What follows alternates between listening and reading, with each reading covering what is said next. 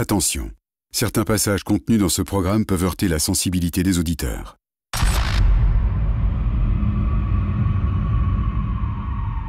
Elle a tellement, elle a tellement, tellement crié pour qu'on l'entende. Il est tard ce soir-là. Un gendarme, Patrick de Batz, interroge une témoin. Elle raconte avoir assisté à une scène effroyable. Le gendarme cherche à en savoir plus. Il lui demande pourquoi la victime ne pouvait-elle pas se défendre Parce qu'elle était attachée. Elle était attachée. La témoin semble encore traumatisée. Sa voix tremble. Il est très difficile pour elle de raviver ses vieux souvenirs. Patrick de Batz continue son interrogatoire. Que font-ils à cette jeune fille ensuite?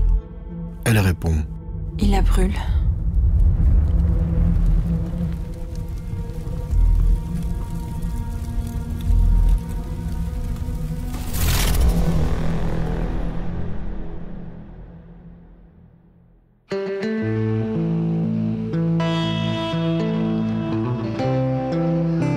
Soir-là, l'enquête du crime de la champignonnière prend un nouveau tournant. Un tournant qui va profondément diviser le pays et qui continue encore aujourd'hui de questionner et de susciter de nombreuses interrogations.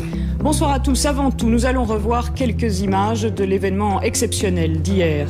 La marche blanche a réuni dans le centre de Bruxelles entre 250 et 300 000 personnes. Cette marche a fait la une de la presse belge, bien sûr, mais aussi de la presse internationale.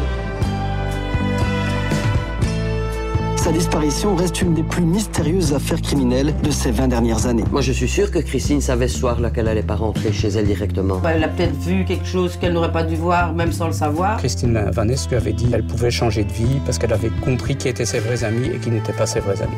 Puis elle m'a dit qu'elle sortait avec un gars et que ses copains étaient très bizarres et qu'elle avait peur de ses copains. Tu te fous de ma gueule, toi, quoi? J'ai dit, tu viens de m'accuser comme étant ton complice et tu me demandes ce que je fais là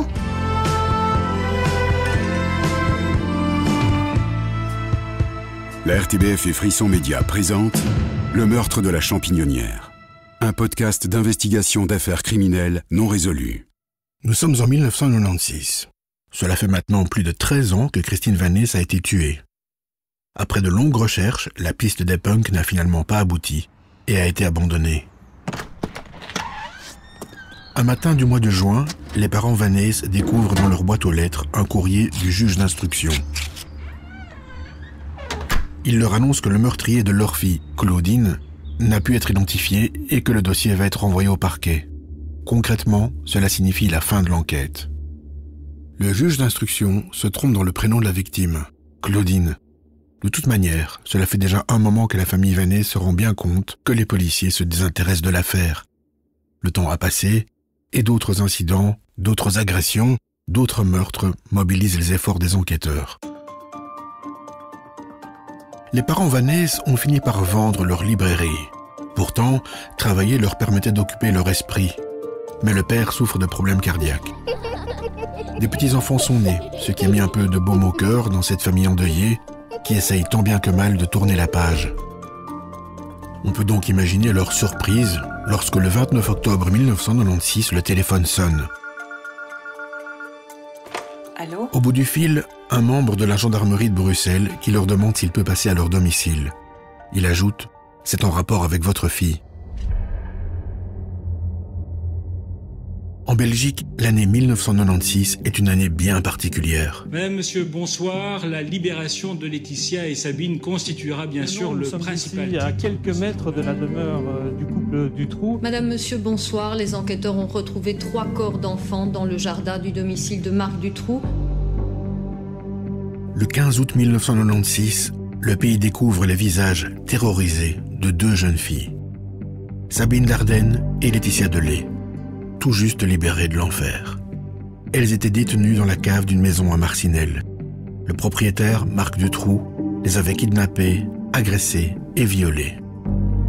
Il est incarcéré et après de longs entretiens, la police découvre qu'elles ne sont pas les seules victimes de ce dangereux psychopathe. Julie et Mélissa, 8 et 9 ans, mais aussi Anne, 17 ans, et Effie, 19 ans, ont elles aussi été séquestrées dans cette cave. Malheureusement, elles n'y ont pas survécu. Julie et Mélissa sont mortes de faim. Anne et Efieux ont été enterrées vivantes.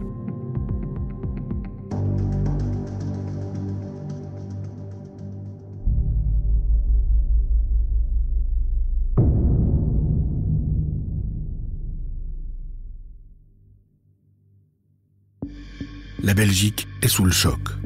Marc Dutroux est reconnu coupable d'avoir kidnappé, séquestré et violé six jeunes filles et d'avoir tué quatre d'entre elles. Il a agi avec la complicité de sa femme et d'un ami toxicomane. Commence alors l'une des plus considérables enquêtes jamais menées dans le pays. Les policiers épluchent le passé de Marc Dutroux afin de découvrir s'il y a pu avoir d'autres victimes ou même d'autres complices. Ses comptes, ses appels téléphoniques et ses fréquentations sont minutieusement décortiqués et analysés. Un certain Michel Nioul est interpellé. Homme d'affaires et animateur radio, il fréquente du beau monde, des personnes importantes. Voici un portrait de lui diffusé en 1997 par la RTBF. Bien introduit dans de nombreux milieux, notamment politiques, ce Verviétois d'origine, âgé de 55 ans, avait de très nombreuses activités. Nioul était entre autres expert immobilier auprès d'une justice de paix bruxelloise, alors qu'il n'était pas habilité à porter ce titre. Michel Nioul a également été chargé de la communication de plusieurs hommes politiques bruxellois.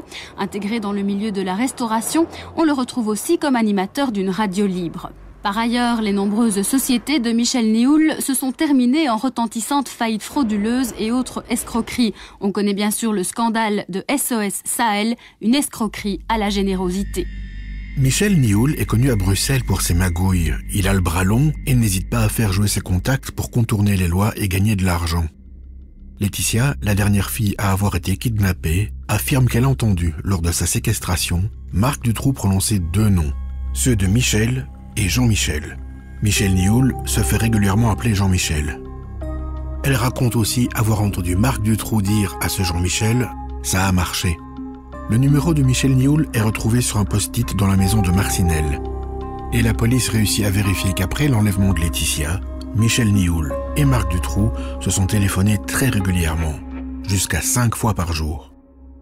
De son côté, Michel Nioul clame son innocence il serait entré en contact avec Marc Dutroux pour régler des problèmes mécaniques sur sa voiture.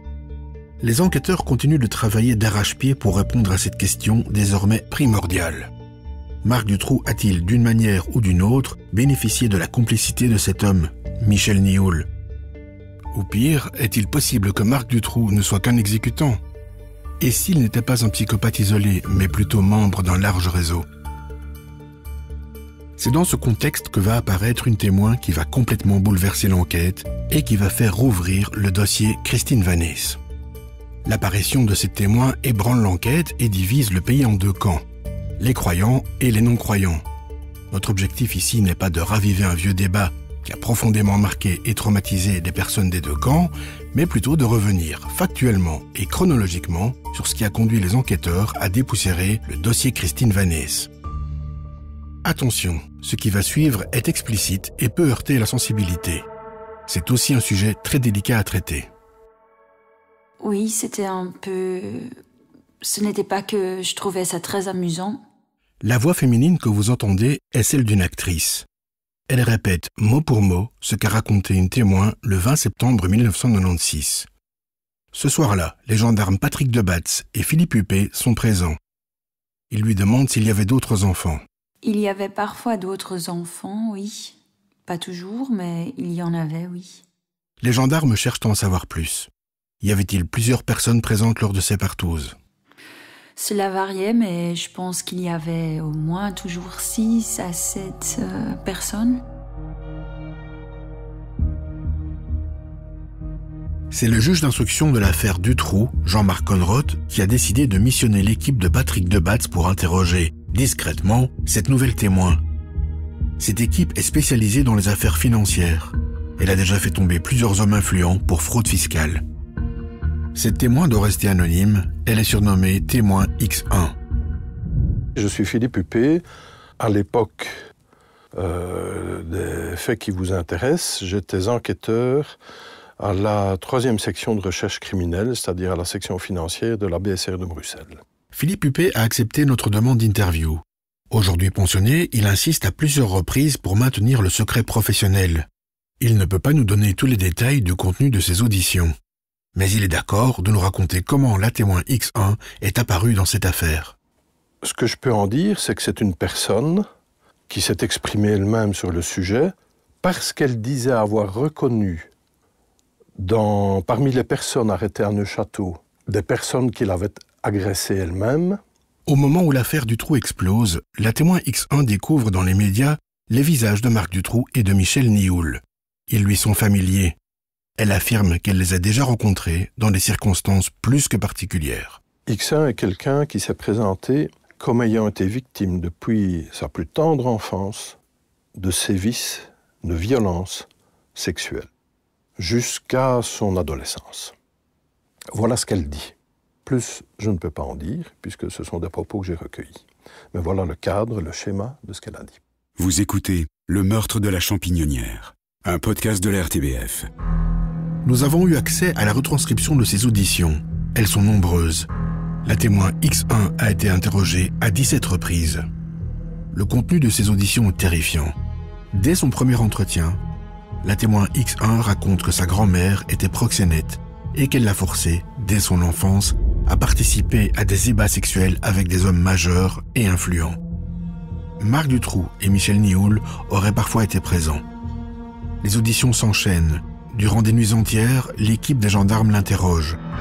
La témoin X1, perturbée par son enfance, parle avec difficulté de ses souvenirs. Parfois, elle panique et se referme. Il est compliqué pour elle de donner des détails, et elle confond souvent les dates. Pourtant, plus les interrogatoires avancent, plus les gendarmes sont choqués. La témoin X1 décrit des scènes de torture où des hommes et femmes influents s'amusent à frapper, violer, brûler des enfants. Elle parle de pratiques sexuelles avec des animaux, d'histoires de violences extrêmes, d'avortements forcés, mais aussi de meurtres. Il la punissait en la torturant. Elle ne pouvait pas se défendre parce qu'elle était attachée. Et puis, il la brûle. Ce soir-là, la tension est palpable. La témoin X1 raconte qu'une jeune fille, Kristen, serait morte lors d'une terrible soirée de débauche, les mains et les pieds ligotés. Son récit est glaçant. Elle dit avoir rencontré une fille qu'elle appelle Kristen lors d'une formation où des jeunes filles sont entraînées pour répondre à des demandes salaces d'hommes âgés. Après cela, elle revoit plusieurs fois cette Kristen, qu'elle décrit comme son amie, mais aussi sa rivale. Les deux filles sont toujours mises en compétition. Selon elle, le soir du meurtre se serait déroulé en deux parties. Une première dans une villa. Puis, les deux jeunes filles auraient été amenées en voiture, visage cagoulé, dans un autre lieu.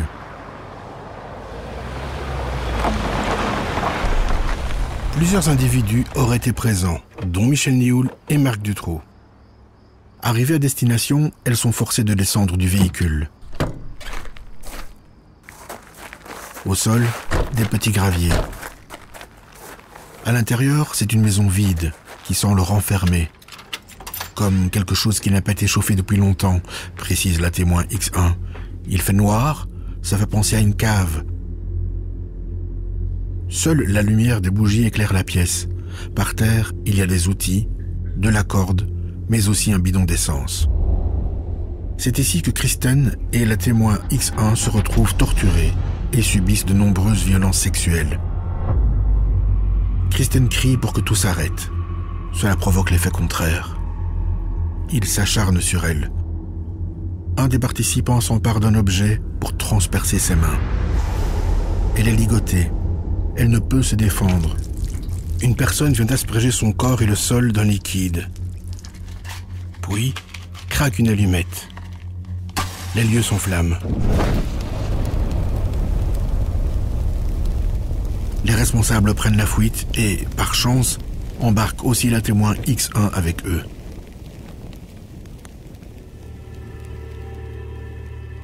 X1 ne raconte pas ce témoignage d'une traite les enquêteurs doivent continuellement le relancer pour avoir des précisions. De quoi parle-t-elle? Par tâtonnement, on se demande, nous nous demandons, est-ce qu'elle ne nous parlerait pas de la champignonnière? Philippe Huppé ex-gendarme. Pure hypothèse que nous formulons. Et alors là, les choses vont s'enchaîner. Parce que on se pose la question, et je me souviens bien d'avoir dit à mon collègue Ah ben non, là, il y a quelqu'un qui a été arrêté, qui a été condamné dans cette affaire, euh, c'est une histoire réglée. Il y a eu quelque chose, on a arrêté un punk, me semble-t-il. Euh, euh, bon, ah, on veut vérifier, on veut vérifier ça, et on veut s'adresser au magistrat national à ce moment-là. On lui fait part de nos doutes sur le fait que quelqu'un aurait déjà été condamné pour ce fait-là, etc. Il doute lui aussi et dit, mais il n'y a pas de problème, je vais me faire fournir le dossier. Quelques jours ou une semaine ou deux plus tard, il nous rappelle en nous disant, voilà, j'ai le dossier chez moi, si vous voulez passer, venez. On va chez lui et il nous montre le dossier. J'ai été extrêmement surpris. Le dossier était dans une armoire basse, emballé dans du papier craft. Le dossier Christine Vanès dort dans un placard, bien emballé. Les gendarmes Philippe Huppé et Patrick de Batz apprennent qu'on n'a toujours pas identifié le ou les coupables dans cette affaire. Mais le magistrat national refuse de leur remettre les documents. Je ne vous remets pas le dossier, dit-il, parce que sinon, vous allez lire le dossier et vous risquez de devenir suggestif dans les questions que vous poserez, ou vous orienterez trop, hein, euh, même sans le vouloir, euh, pour vérifier si oui ou non, alors qu'on vous parle peut-être de toute autre chose. Le raisonnement paraît tout à fait correct et conforme à ce qui avait été décidé au départ avec les autorités judiciaires de Neuchâteau. Les enquêteurs continuent donc les interrogatoires de la témoin sans le dossier de la champignonnière afin de ne pas orienter leurs questions. Leur objectif est d'obtenir le plus de précision sur les événements qu'elle raconte. Dans le continuum du récit auquel j'ai assisté, elle n'a pas parlé du crime de la champignonnière. Je veux dire, elle n'a jamais mis les mots de champignonnière sur ce qu'elle décrivait. Nous avons pensé, à partir d'un certain moment, et là on est dans les toutes dernières auditions, si pas la dernière que je prends, nous nous sommes interrogés pour savoir de quoi nous parle-t-elle. La témoin X1 ne formulera jamais lors de ses auditions le mot champignonnière mais elle raconte de manière décousue un événement qui, selon les gendarmes, pourrait évoquer l'affaire Christine Vanès. Cette Christine pourrait-elle être en réalité Christine? A priori, plusieurs éléments pourraient corroborer cette hypothèse. Tout d'abord, il est vrai que la victime Christine Vanès a bien été retrouvée morte attachée. De plus, la témoin X1 raconte qu'un objet a transpercé les mains de cette Christine. Rappelez-vous dans l'épisode 2, nous vous relations qu'un des premiers intervenants avait remarqué qu'un clou était planté dans le poignet de la victime. Puis, X1 dit avoir vu un bidon d'essence sur les lieux du crime. La police a bien retrouvé un objet de ce type sur place. Enfin, les enquêteurs cherchent à identifier les lieux. La champignonnière a depuis été détruite. Hormis quelques photos, il n'existe plus aucun document pouvant renseigner sur l'architecture du bâtiment. Les enquêteurs demandent au témoin X1 des précisions sur les lieux. Il y a des marches, des revêtements au sol, une réserve ou une ancienne cuisine, décrochés au plafond. Ils sont surpris. C'est l'une des premières fois que la témoin est aussi précise. Elle prend un stylo et commence à dessiner un plan. C'était comme ça. Pour certifier les propos et le plan de X1, les enquêteurs se tournent vers les anciens propriétaires de ces lieux. L'exploitant de la champignonnière étant décédé, c'est son fils qui va être interrogé. Il est ingénieur et se rappelle bien de l'endroit. Il se rappelle d'ailleurs qu'à l'époque, des rumeurs couraient selon lesquelles des choses inavouables s'y passaient. Les enquêteurs ne comprennent pas le trajet qu'a fait X1. Elle dit descendre, monter, franchir des marches, traverser un couloir. Mais le fils, lui, comprend très bien. Il parvient à dessiner le chemin qu'elle a pu parcourir. Voici une retranscription lue par un acteur de ce qu'il affirme. En fait, il s'agissait de deux maisons regroupées en une seule habitation, avec un passage unique d'escalier et de couloir. Personne ne pouvait décrire au hasard cet endroit. Elle a réussi à dessiner les portes de l'intérieur ainsi que les moulures. Elle a bien décrit le papier peint. Je sais pas qui aurait pu faire toutes ces descriptions avec autant de précision sans n'y être jamais allé. Je connais pas cette personne. Tout ce que je sais, c'est que d'après sa description de la champignonnière et de la maison, je suis sûr qu'elle a déjà été présente. Il se concerte avec le reste de sa famille. Le 14 février 1997, il annonce qu'elle est unanime. Cette personne a bien visité les lieux.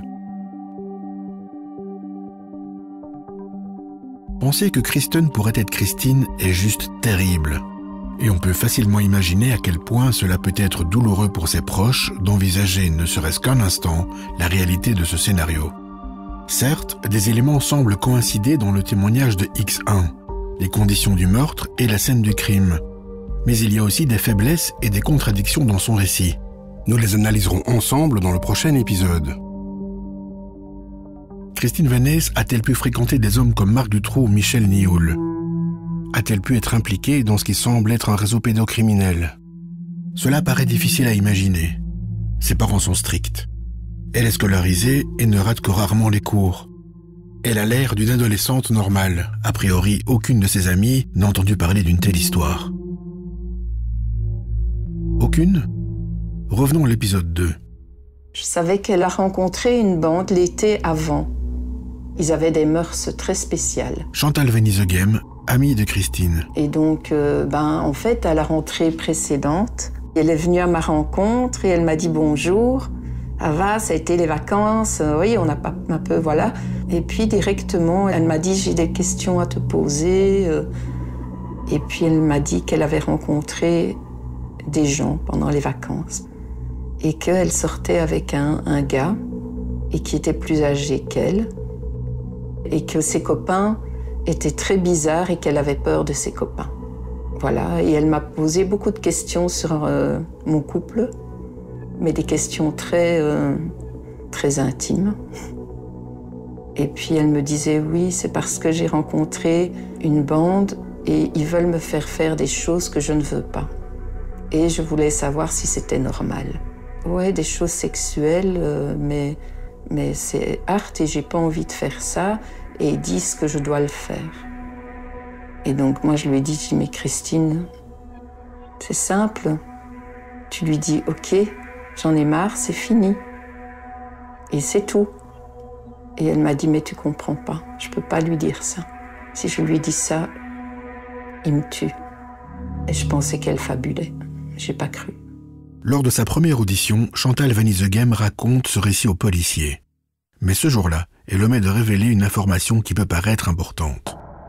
Je savais qu'elle sortait avec un Marc, et je savais que c'était Marc parce que mon frère s'appelle Marc, et que donc j'étais sûre que c'était ce nom-là.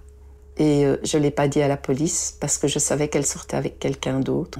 Je savais qu'elle avait son copain officiel et que je voulais pas qu'on croie qu'elle sortait avec tous les garçons différents.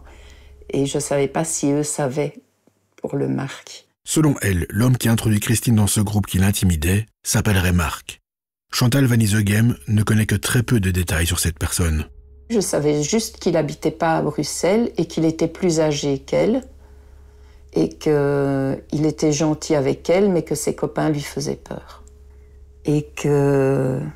Ah, mais je crois qu'elle les a rencontrés à la patinoire.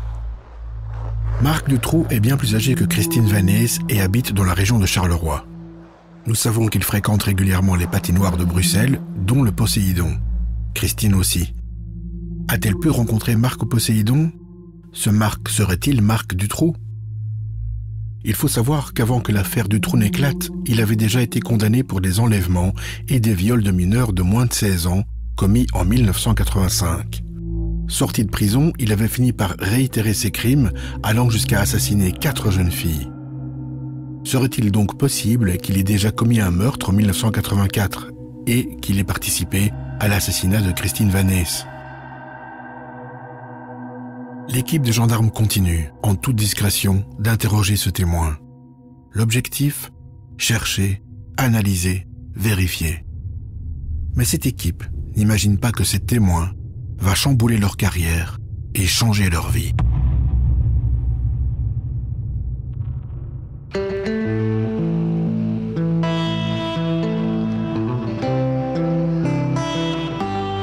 Dans le prochain épisode, au centre de la controverse, notamment les auditions de X1, l'une de celles que l'on a appelées les grands témoins de Neuchâteau.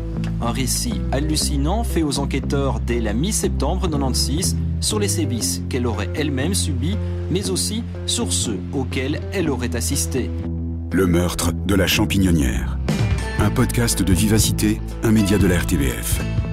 Écrit, réalisé et produit par Matt Graves, Jeanne Savigna et Thomas Résimond. Une narration de Serge Logne.